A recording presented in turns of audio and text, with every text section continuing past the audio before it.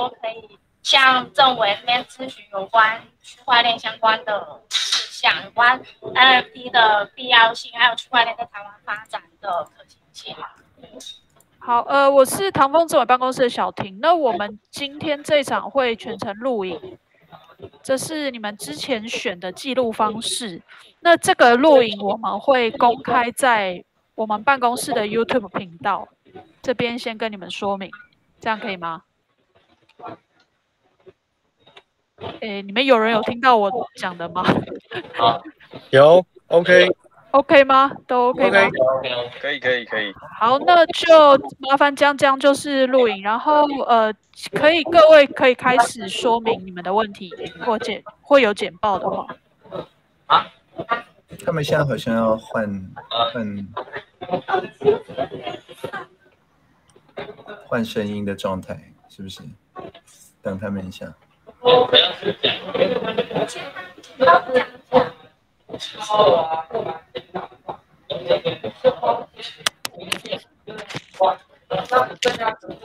啊，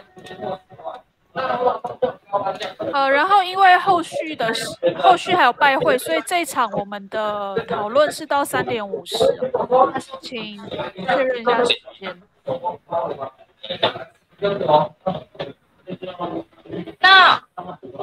哎，现在是要我们发问题吗？不好意思，因为我们现场有客人，有点吵。啊，没关系啊，没关系。就是因为我们在我们在在发言，然后那旁边都是客，所以，呃，我们主要现在想第一个问题是想要问有关 NFT 税金的问题。请说。请说。对，就就是就是有关在，呃，在台湾目前发行 NFT，然后税金相关，然后看呃国路或是查克或阿贤这边，就是有没有什么想要详细询问的？对啊，有有什么 NFT 的税金有什么问题吗？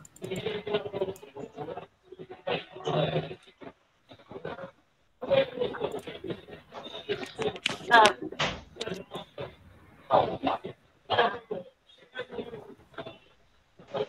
那我这边想要提问一下的意思就是说，像之前，比如之前台湾爆很大的连千亿跟勾二的事件，那它的 NFT 的赋能呢，就是会是否会受到台湾法律的规范？目前的话，目前的话，目前我们接收到的讯息就是还没有任何判决的结果，所以我们才会想要知道说，那个 NFT 它的税金以及它的规范。那但是 NFT 只是 NFT 只是数位凭证而已啊，类似我们的那个疫苗疫苗接种记录或者是 PCR 阳性记录那种东西嘛。那呃，但是它分成记名的。呃，就是对特定人的，以及不记名的，就是你可以转让掉的。那但是这个记录本身就是一个电子签章的数位凭证而已，它它没有课税的问题啊。我的意思是说，好比像说，现在因为大家都有来社创咨询，那我就每个人发一张，呃，这个各位六月呃中有来过社创咨询的 NFT 给大家。那那这个当然也没有什么税的问题，因为你不是用买的嘛。那你之后呃如果要转让，那当然也不会产生税的问题。所以我不确定你的那个应用场景是什么，所以才会在问税的事情。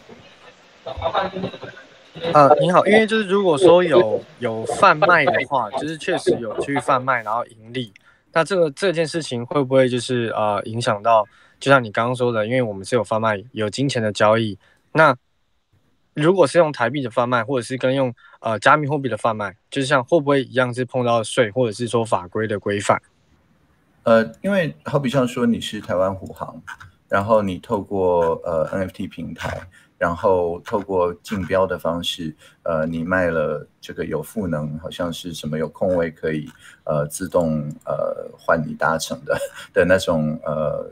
就是算是酬宾这个机位呃的 NFT 嘛，对不对？他们叫 Tiger NFT 嘛。那那他他当然有收到钱嘛，而且他是收到法币，而且那个给他钱的人绝对是有呃我们国籍的人嘛，那所以他呃要在境内才能使用嘛，所以他当然是用法币来买。那这个时候他买到的东西是不是 NFT 不是重点啊？他就算是买到呃某个呃那叫什么呃礼券，对不对？也也也是同样的方式嘛，就是呃这个公司当然它还是收入，那收入还是要呃报税。那但是这里的。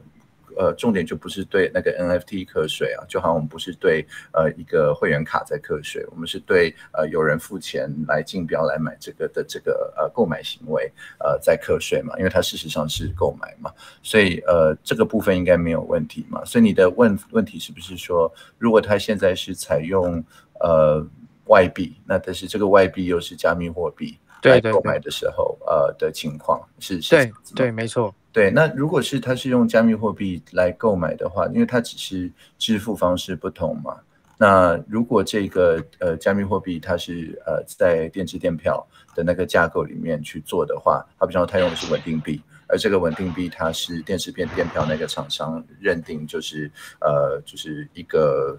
加密货币兑付一美元，或者是一个加密兑呃货币兑付一欧元，那这样子，他这个行为就跟用美元或欧元买也没有什么太大的差别，因为它有一个很很稳定的汇率嘛，所以所以这个也不是问题。所以讲穿了，真正的问题是他用一个呃今天这个币值很高，明天可能就归零的，或者反过来的呃的。对对对，可能就以太坊这个样子，因为在 NFT 的那个交易市场，可能 OpenSea 里面他们都是用。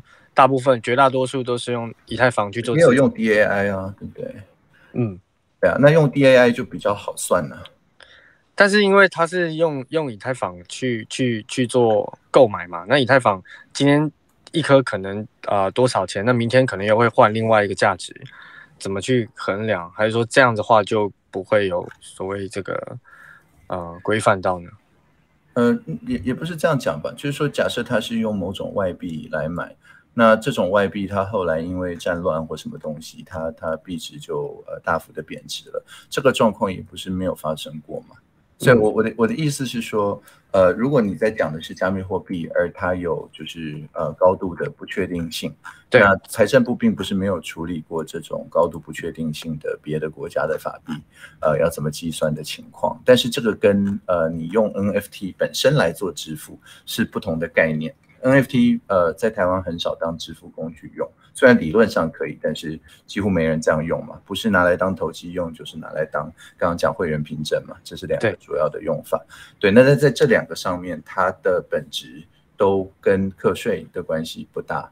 那是你获得利得的时候，在投资的那个用法，跟你实际有交易的时候，营业税在后面的这个凭证的用法，呃，它就是适用既有的税法，但是不因为它是 NFT 而有改变。这这样我不知道有没有讲蛮清楚的。啊，大大致上理解，因为像我们自己可能是会有发行，然后也是有在啊做贩卖，但是对于这一块那。加上政府就其实政府的规范其实很混乱，所以我们的确有因此而收到收益。但第二个是我们不知道怎么去，不管是报税这个收益，还是说我们贩卖这个东西，我们对它做一个赋能。那这个赋能就是我们说买了我们的东西啊，会员凭证也好，或者是我们说那也好，它会不会有财产交易啊？因为它是不动产嘛，它可以可以转让嘛。那会因为去跟动了我们所谓一开始赋予它的这个能力，比如说我今天卖的时候，我说啊，你买了我的东西，我可以。呃，给你一个什么样的一个呃赋能？那可能过一阵子之后，我想更改这个赋能，会不会就是哎影响？就是那个就是消保的问题了，那就不是税的问题了。哦，那个就是你要不要算成那个服务礼券定型化契约应记载不得记载事项啊？那那个是消保会要找你麻烦，应该不是财政部要找你麻烦。哦，OK，好，那。换其他人问问题，这样对对，就是说这个这个部分，呃，当然说找麻烦也是呃开玩笑的啦，就是还有会给你一些呃应该的辅导啊之类的。但是这个这个题目之前在呃就是电子礼券而不是票券的题目上面，其实已经处理过蛮多了。那呃，包含说履约保障啊之类之类。那这个我想，呃，我们消保处、消保会都已经有非常完整的的说明了。那它不会因为你是用数位签章，还是电子签章，还是什么别的东西记录这个礼券，它就不适用。所以你就大概参考这个就可以了。哦，了解了解，嗯。好，所以刚刚就是等于我们的问题，就是有关后续监管，然后法律规范等等之类的这些问题，就算是都一次就是都解答了。然后对是的，好，然后那再来就是像刚刚也有提到相关的政府资源的补助，因为例如像是呃区块链大联盟啊，它目前可能都是一些培训课程或者金融科技的一些增建活动，然后补助的话也是可能 AI 技术或是五 G 技术相关的增建活动，但是呃目前因为刚才也有提到补助的部分，但是我们好像似乎目前好像没有看到专给区块链产业或区块链游戏的相关的补助，嗯。但但那是因为它已经是各个业别都已经普遍认知到的技术嘛，就像我们不会特别给呃关联式资料库产业 什么补助，因为基本上你大概都是用关联式呃资料库了，已经没有什么不是关联式的资料库有了还是有了，但是大部分是关联式的，所以我们不会特别去强调说哦那。你的资料库有别于别人是关联式的，我们就来补助你，因为大家都都是这样子。那呃，同样道理就是同样是一个分散式账本，那当然你有无限种技术可以用，可是现在大家都用公链，但是我我不会因为你用个公链就觉得你跟别人不一样，因为别人也都用公链啊。所以所以，我我的意思是说，这个题目它跟啊，好像只有少部分人可以找到测试场域来做五 G。或者是说，只有少部分人在他的产业里面真的用机器学习，呃，来解某个以前没有办法解掉的问题的那个性质。不太一样，因为我们还没有看到说，好像这个产业，呃，所有人都没有办法用公链。那但是某家新创找到一个全新的方法，事实上每个人只要想要用公链，都可以用公链。呃，这是公链的性质嘛？所以，所以我我不确定说，你你们在看的补助是哪一种？是在研究方面的，真的是找出一个全新的用法，还是是应用方面？因为应用方面现在看起来好像大家不太需要帮忙哦，大家只要呃，就是装几个城市立。课就可以写入公链了。是，那就是政委，您会认为说，以台湾的区块链产业在呃台湾上有什么优势吗？那就是我们没有我们没有禁掉那个区块链产业嘛，对不对？其他地方有禁掉区块链产业，呃，这个是是比较比较现实。那那另外的，我觉得另外的优势也是呃，我们以前在呃有 NFT 这个概念前。我们其实就已经对这种所谓的虚拟资产或者呃无形资产，呃有过很多讨论，包含我们的电子签章法、我们的平台经济相关的调试，这些法规大概都已经。在场了，那现在反而 NFT 这股热潮出来，我们唯一可能要调整的是那个反洗钱、反诈骗、反资恐的那个方面，因为这个应用实在太多了。那但是如果是在呃传统的平台经济呃上面的用法的话，呃看起来既有的法规呃包含税务的、会计的，你刚刚提到的消保的等等，看起来都还算健全，呃，所以就比较不会像呃其他国家好像一下子就要定性它是支付。工具啊，或者是什么货币啊，后来发现又不是啊，很少人把它拿来当支付用，它就要来来回回的呃试几次监管，那产业也受到影响。那在我们的情况是，呃，大概就是你用来做凭证用就是凭证用，呃，赋能拿来当礼券用就是礼券用，拿来当投资用或者投机用那就是那个用法。呃，大家在 NFT 前都已经蛮习惯了了，所以我觉得一个比较比较成熟的呃一个。法规环境跟氛围，我觉得是台湾的优势。嗯，那这样子就会，我们这边就会想要了解说，有关 NFT 赋能的部分，如何产生必要性，可以跟生活的应用层面下去结合。因为目前，呃，据我们一直以来所规划的 NFT 赋能，还有许多国际项目的赋能，大多都是偏向一些娱乐性的附加价值，然后呃，就是有这些价值可能。很很好，但是会有什么太大的影响？那我们会希望说，就是 NFT 这方面的赋能，我们可以呃有没有什么呃思考的方向，是可以让我们可以发展出跟生活是密不可分的附加价值的。但你们的目的是什么呢？我的意思是说，像呃域名系统，呃，可不可以算是密不可分的？我我们现在生活好像当年那个 dot com 的的热潮，就是因为每个人都要一个 dot com 的域名嘛。那那这个是不是达到你们密不可分的那个呃程度的想象？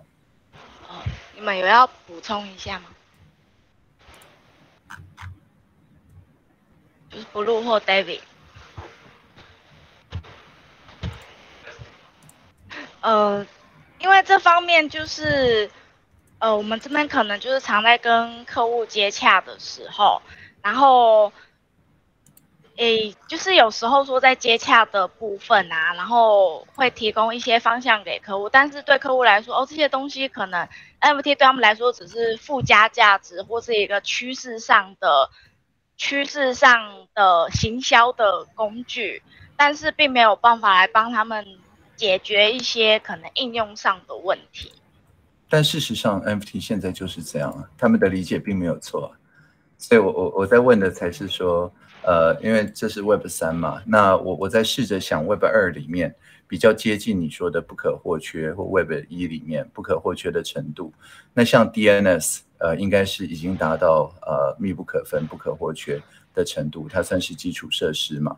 那跟这个对应的 NFT 就是 ENS 嘛，以太坊上面的域名。那但是就是说，你你的客户会对这种东西感兴趣吗？这这个真的是你可以卖他的方向吗？我不是那么确定。就是说，你你你现在有两个需求嘛？首先是你要指出。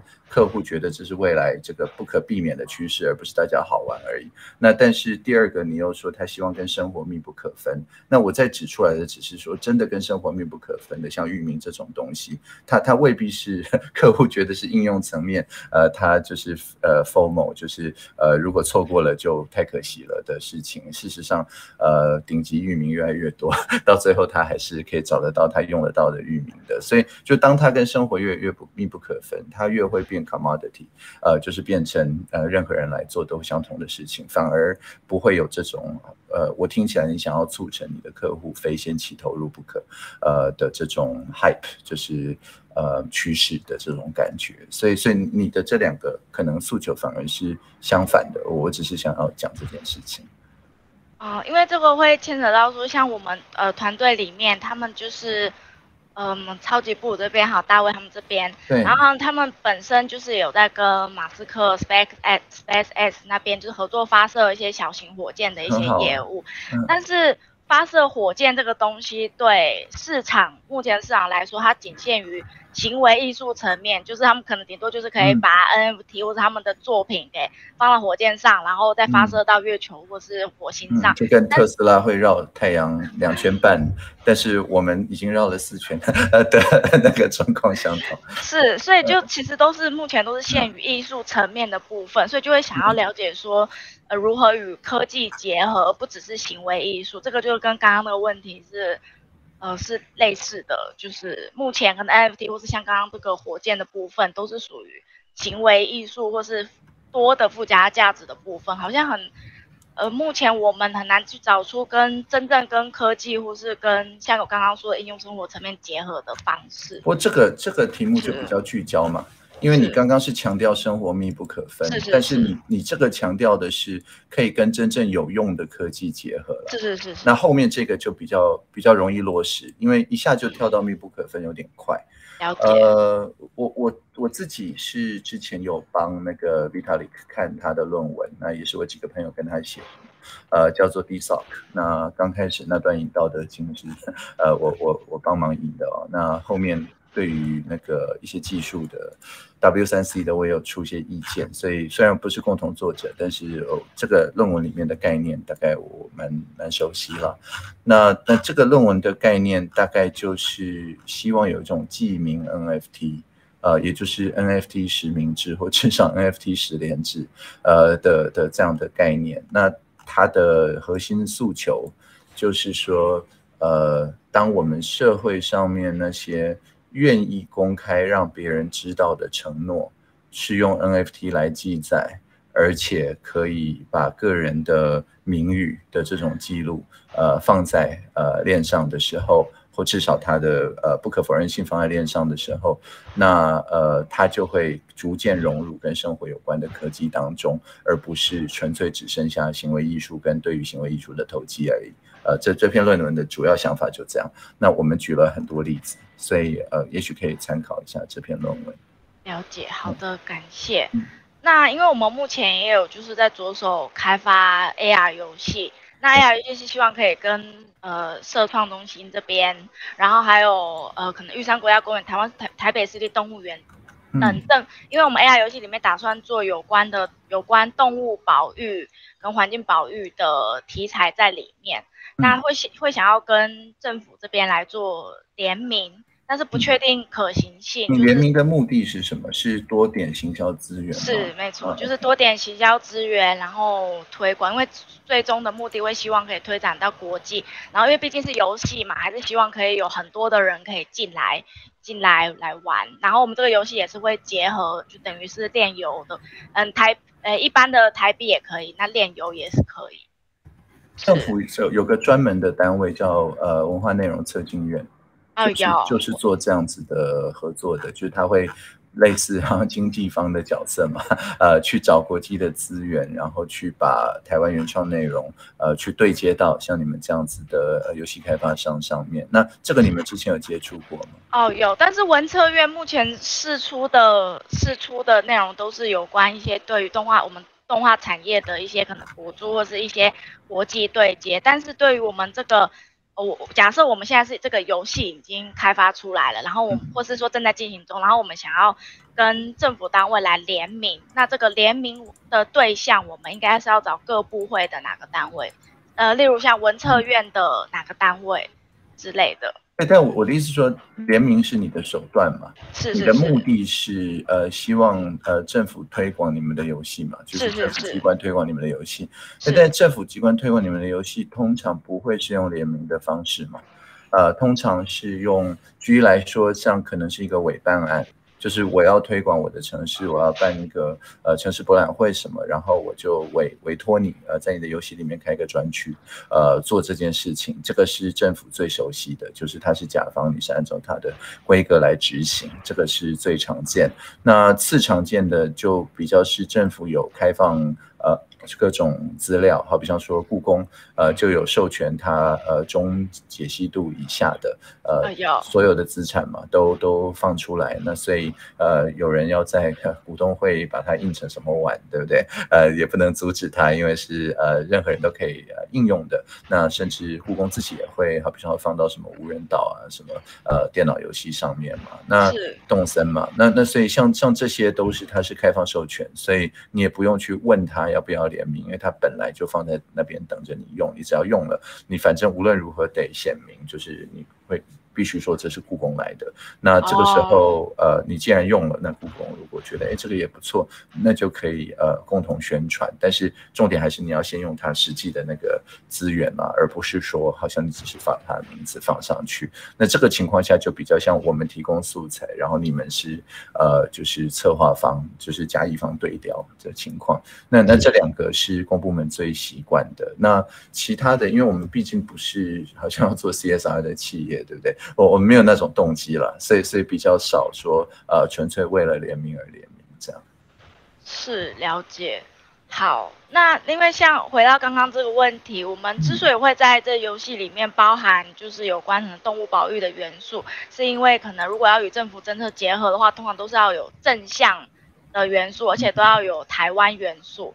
那正向跟台湾元素这个事情，呃，我们认为就是以市场来看，其实。哎，没有那么没有那么受欢迎，嗯，是，然后通常市场喜欢的可能东西都是没有那么正向的东西，然后甚至可能也不是说那么有台湾元素的东西，因为很多很多太有台湾元素的东西反而都发展的结果都没有很好，嗯，是，所以我们会想要了解一下，假设我们可能要跟呃来政府补助还有这些项目来结合的话，我们。是否就是一定还是只能够往可能很正向，或是一定要有台湾元素的这个方向下去走？哎，可是可是我们比较有名的几个例子，什么返校还愿、荧幕判官，这这个应该不是正向的吧？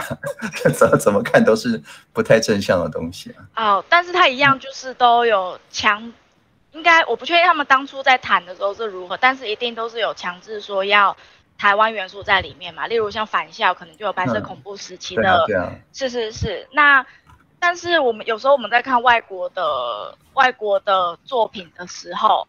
他们假设可能是日本的作品，他们不一定里面，他们虽然是用日文，可是里面内容不一定都是日本本岛的东西。对，那是否就是我们之后往这方面发展的话，一定还是要有台湾元素在？你们现在你们现在是用什么元素？如果不是台湾元素的话，来来方向？呃，就是可能自己设计的一些角色，可是并不是说。呃，并没有那么多的台湾的成分在里面，可能就是一些，呃，可能怪物或者什么之类的，是。然后没有没有听懂，不好意思。哦，我我的意思是说，就是目前我们设计的那些角色还有内容，例如可能内容是打斗，嗯，游戏的内容可能是打斗，然后，啊，你有要补充什么？你那边，那里那里这里。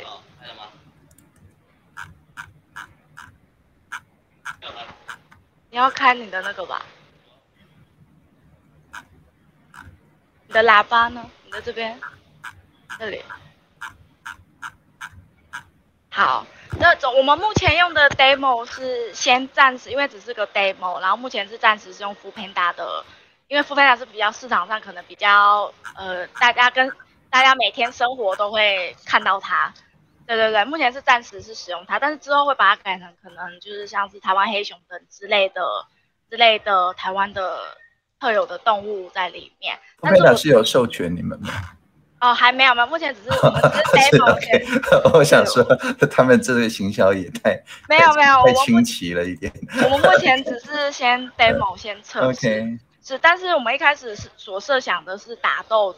打斗类的游戏，一对一的打斗类的游戏。你说 Uber E 跟 Food Panda 的外送员，那是那那只是 demo，但我们之后还会再修正。有点地狱梗。可是可是这样还蛮有趣的吧？这样如果假设是 Food Panda 跟 Uber E 这样子下去下去对打，以以梗来说，应该算是有趣的梗吧。对啊，就是 你会同时被两家告。对，但我的意思是说，就是可能市场上会比较喜欢这类的，可能有趣、新奇、地狱、黑暗等等之类元素的东西在里面。然后很多时候，可能以台湾的社群也并没有说那么那么喜欢，就是因为有的时候台湾元素的东西对台湾的市场来，嗯，对台湾的。诶，可能有游戏的社群或者动画社群来说，他们会认为很刻意。对，而且已经就是黑熊啊、石虎啊，是就就有点有点饱和嘛。是是是。不过好像穿山甲还是蓝海，对不对？啊，穿山穿山甲我们也会列入进去，但是我的意思是说，可能对市场来说有点刻意。嗯。然后很多人就是可能看到很很台湾元素、很明显的很台湾元素的东西，可能兴趣就没有那么大，而且以。以客群而言，反而就会没有那么广，所以我想要了解一下，是不是政府的方向都是目前都还是，因为我们目目前所接触到，不论是文策院还是文化部，都是希望可以一定要有台湾元素在里面。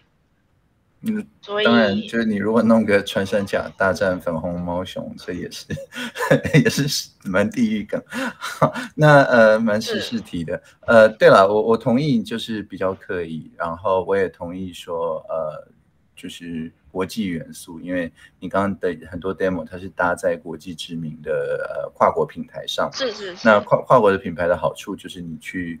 你去写你它，那你的东西可以直接卖到所有的地方，就不需要呃，就是它的受众不需要从台湾扩散，你 born global 了，刚开始就是国际性的，所以所以我我其实都同意，我我觉得你你的现在这个想法很好。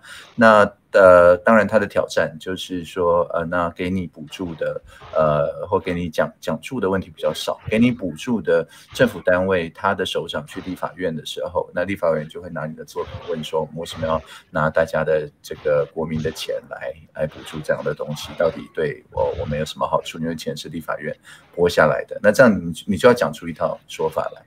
那你如果能够有有一套说法，那你就比较容易拿到补助；如果没有，就很困难，可能只能拿奖助这样。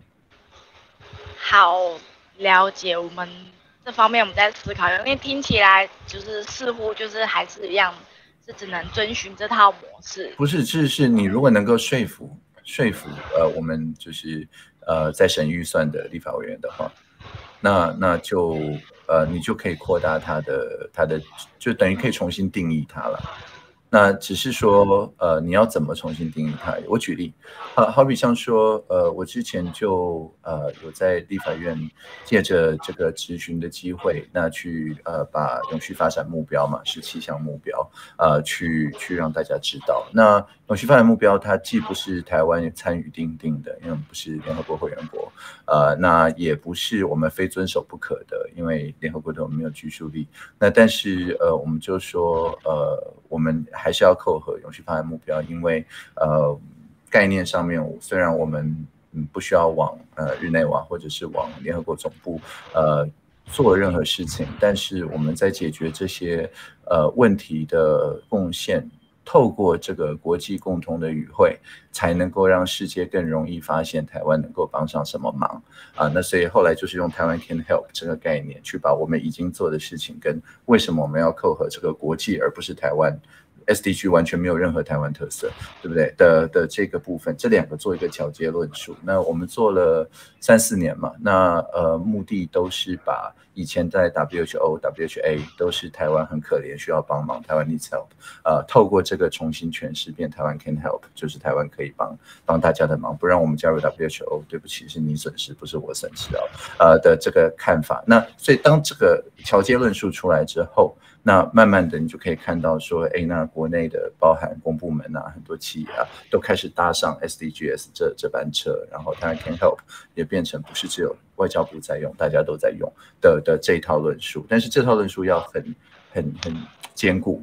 对，就是当时我跟很多社创的同仁讨论嘛，包含暖实力这个概念啊等等。对，那所以呃，这都是几年前的事。所以我就说，如果你现在呃就说哦，我是 Born Global，那我透过 Web 三，透过多元宇宙，呃，透过 NFT，那我。怎么样子去贴上这个之后，大家就可以更容易发现台湾的创造力，或者是的这个生态圈，而不需要特别植入台湾元素，反而才对台湾好。那那这个功课就是你的，你你要想办法发明这一套讲法。那如果你发明了之后，那你的讲述机关、补助机关拿去跟他的市议会拿去跟他的立委讲，那是成立的的话，那等于你就帮忙呃后面所有人去呃建立一套新的这一套评估方法。这样是好的，好了解，感谢我们。诶，时间好像差不多了，是吗？到三点十。好，差不多。看还有没有最后有什么问题？看就是到就是你们那边有没有要补充的一些问题？哎，不好意思，我想我想问一下，嗯，就是刚刚好像有提到有一篇论文，然后可以去，对我有贴在 chat。哦，贴在 OK 旁边这个，嗯，就是有关于区块链的那个应用的那个论文。对你如果找呃 B E S O C B S O C，大概就可以呃看到这篇论文。好，B E S O C，呃，就呃就是呃反正有贴 decentralized finance finance 嘛，decentralized gaming 嘛，呃 D E 开头嘛，那然后。呃，S O C 就是呃，society 吧，这样。好，OK，谢谢。嗯。呃，感谢。你们还有什么要问题要补充的吗？嗯，那这样我想问一下，是说，那目前台湾政府方面还会想要对区块链有做出什么样的实际上的应用呢？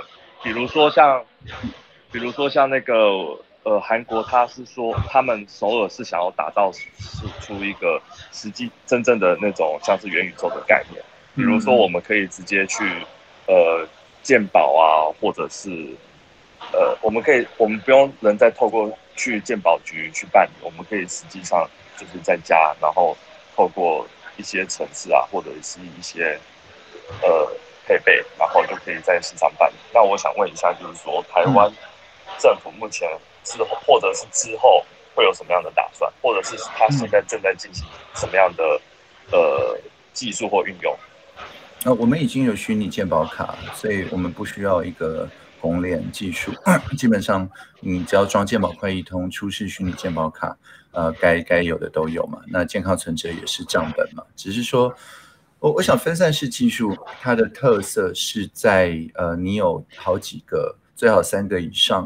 公信力彼此之间都呃互相没有办法取代对方的这种状态，那你才需要类似分散式账本包含区块链的技术。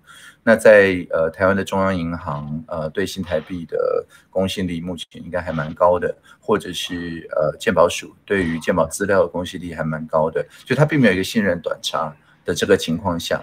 那像公链这种可以快速低成本取得某些信任的这种技术，对它是没有意义，因为因为它本来就没有信任短差的，这个应该是常识嘛。我只是先先讲。那所以呃，我们要找的就是实际上存在信任短差的的地方。我举例，好比像说呃，我们跟其他国外的。呃，不管是侨胞，或者是没有来过台湾但对台湾感兴趣的人，他怎么样透过网络取得我们的线上服务？那或者是说，呃，这次乌克兰的情况让我们看到说，哎，是不是有可能说，呃，我们居安思危，那需要呃更加增进我们的呃资料储存的韧性。如果发生什么不测的话，那是不是可以快速的从呃国外的那些地方呃恢复这些呃资料，但是又可以确保这个隐私不会受到侵害啊等等。那这些当然呃都不会叫区块链，它用了很多区块链。出来的这些想法啊，zero knowledge 啊，这个同态加密啊，这个多方安全计算啊，多签啊，那但是这些技术都不是在公链情境下去用，这些技术都是以那个技术本身，然后 我们来使用。所以像呃 zero zero knowledge，我想很多政府部门都有在探索，就是像呃鉴保资料库是不是？呃，有可能给不是医事人员，好，比方我要办个马拉松比赛，我要确定来的人都不会呃热昏迷啊，他的健康状况比较好，但是我又不是医事人员，我没有道理看你全部的健康呃存折里面的记录，那是不是有可能健康存折呃压几个这个 ZKRP 呃就是呃范围证明出来呃，或者是用呃。就是其他的方式，确保说他可以呃提出证明，而不需要牺牲他的隐私。那这个里面我们在 DSOC 呃这篇论文里面讲了很多呃这些用法。可是呃他的状况都是我不需要用公链架构，我用呃 Web 一。呃，PKI 架构，哦，我就可以做到全部这些事情。那公链进来只是说，哦，我多多个认证的层嘛，呃，像图灵链他们，呃，多一个不可否认层，或者是有多个国外的这个实体要加入的时候，有一个快速呃取得互相 interop，就是呃互相呃。和谐共存的的这一层，那但是这些像中央银行，他们也花了很多时间用公链技术，呃，做我们的中央银行的呃数位法币嘛，加密法币。但是他们都研究完之后，他们发现现在没有什么场景非用这个不可。所以，所以就是说，你如果问的是技术有没有了解，有没有投资都用，那呃，你说公链技术是不是好用？大部分你呃想完一轮都觉得像那个。呃，司法的那个存证链嘛，就是司法院的司链跟法务部的司链跟呃各种公证人的呃在刑事提出证据的司链，到最后他们也是用司链联盟链的方法做，也不是用公链了。所以，所以就是这些从公链出来的技术都很棒，但是好像呃我们政府呃投投资研究下去，到最后都是用呃 PKI 技术，用联盟链私链，大概也就可以完成。呃，那主要原因就是因为我们并没有很严重的信任短差。嗯，了解。好，谢谢。好，谢谢张伟。好，那我我想也没有那么悲观了，就是说，呃，其实我我讲个实在话，就是说，现在在公部门里面，因为大家都在拼净零。不管是比特币还是以太坊，大家只要一听到用多少电哦，大家都觉得是一个道德不良指标，所以 就是 都会想要用呃道德上比较说得过去的，不会说我们做好事，然后又被我们的排碳抵消掉了。那那所以这个道德不良指标的的标签要先撕掉了啊，不然的话公部门很难用红联，这个是说实在话。嗯，哇，嗯，好。好了解。呃，那就希望那个 merge 成功啊，merge 成功，大家就可以重新来论述看看。好的，感谢。嗯，好，这样应该差不多。嗯嗯，好的。好，那就就先这样喽。我我过两天会有在呃中央社的，哎，现在是跑到公司去了，呃的频道上面有我跟 Vitalik 聊接近两小时，专门聊这个题目。呃，所以如果有空的话，也可以参考。好，好的，感谢政委。好的，谢谢。OK，好，谢谢政委。谢谢，嗯，拜拜。拜拜。